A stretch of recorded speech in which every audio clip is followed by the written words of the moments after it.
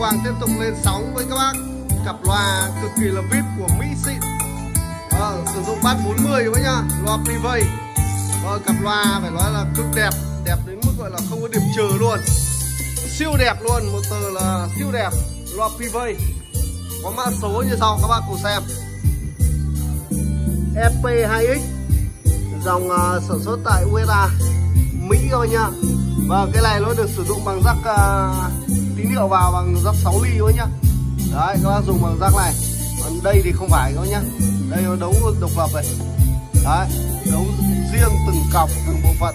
À, hai một cộng một trừ hai cộng hai trừ theo chế độ từng loa. Các bác dùng bằng cái này nó mới đúng này. An toàn.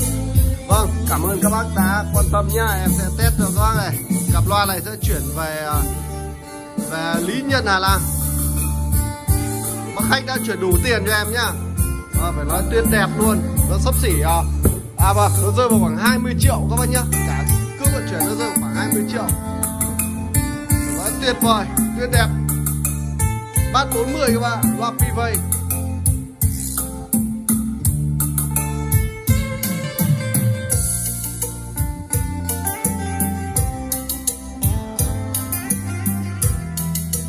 Rồi vâng, độ đẹp của nó thì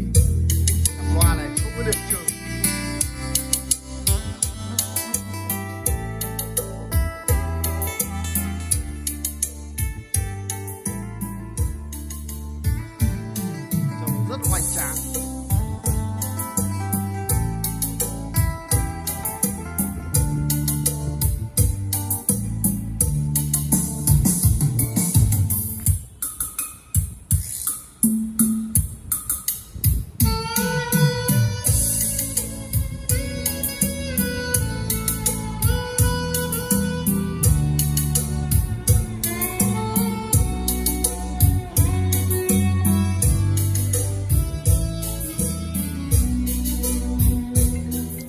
Vâng, các bác uh, thông cảm. À, hai ngày vừa rồi Ngọc Quang không lên sóng thì do công việc. Em đi uh, vắng. Hôm nay em mới lên sóng uh, để trả đơn các bác.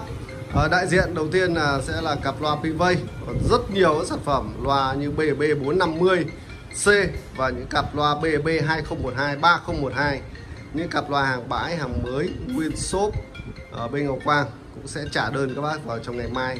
Cực kỳ là nhiều nhá.